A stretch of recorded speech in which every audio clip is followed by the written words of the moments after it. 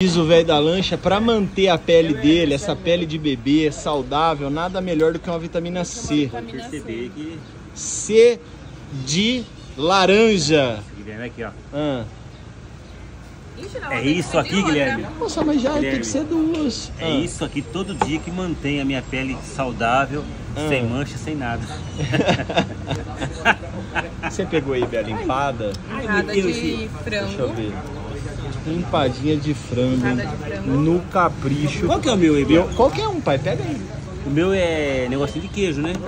Olha aí. É, é esse aqui. Ô, Bela, minha. é frango catupiry. Era minha. Era sua? Eu também pedi frango catupiry. Então come. O quê? Oi. Hum. Tem um molinho de pimenta bom aí. Você quer um molinho de pimenta também?